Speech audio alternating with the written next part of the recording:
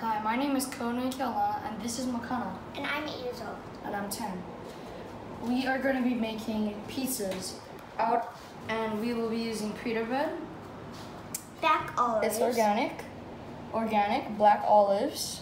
And organic broccoli.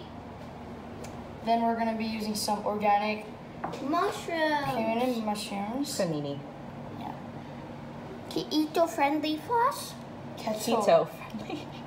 Yeah. Low sodium, sugar free, Mariana sauce. Homegrown arugula. Arugula. It was Arugula, the right. cheese. Oh yeah, and cheese. Oh, yeah, and cheese. It doesn't have any. What's the first step?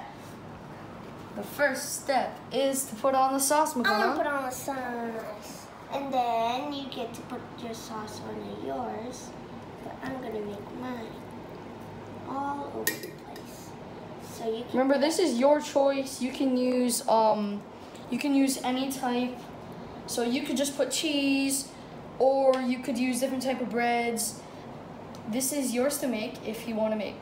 And we're done with the sauce. I was gonna eat one, but I thought that was disrespectful. And now I'm gonna put on my cheese. Remember, just So one cheese. spoonful of cheese. Spread it around. You can use some. You can use some more cheese. That's okay. Try to get it on the pita though. So Makana, remember, kind of try to use your hand and just sprinkle it around. Okay. Okay. Uh, Makana. Okay. Okay. And then I'm That's gonna really I'm gonna put the mushrooms on first. Here, I'll put them on. No, no, you put your you make You your can each make your own. Okay. This is from Small Kine Farm. We get a CSA And then box these are with once butter, week. so I'm gonna eat one by itself. with No, vegetables it- from local farms. You can eat a little bit. How about? Okay. Kana, stop. Okay.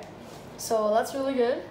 Anything else you like? Olives, right? Um, These um, are organic black olives from Lindsay. They come in a can. You can buy them in bulk. I'm gonna put a little bit more mushroom. Okay.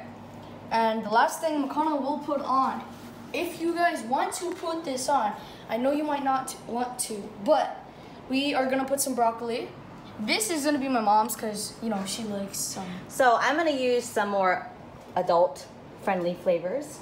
So like so this arugula that we're growing in the side of our yard, and some of this sweet basil. I'm gonna put that on after I bake these.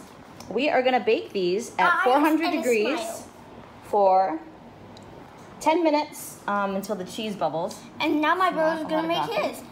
Okay. Now we'll be taking out our pizzas.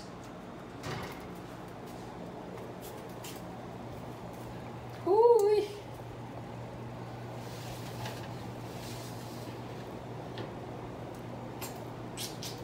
Um, Which one is mine? Which one is mine? okay, and then we turn that off and on. Mommy's gonna top hers. Wait, A little bit of these fresh herbs and it's like a salad pizza. Wait, that one's mine because I put. That was No, like, no. oh, you only put like three broccolis. Yeah. Great job, boys.